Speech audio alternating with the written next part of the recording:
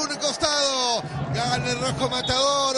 1 a 0 a Garcilaso. Claro, tocaron el balón, no había espacio y viene la jugada personal. Lo que podía hacer, en este caso fue Montiel, mira, supera hasta tres jugadores y en un espacio, espacio muy pequeño hace un disparo hacia la mano izquierda del arquero Ronald Ruiz que no tiene nada que hacer. Golazo de Montiel, intentó, era la única forma de poder romper esa barrera que había puesto el equipo de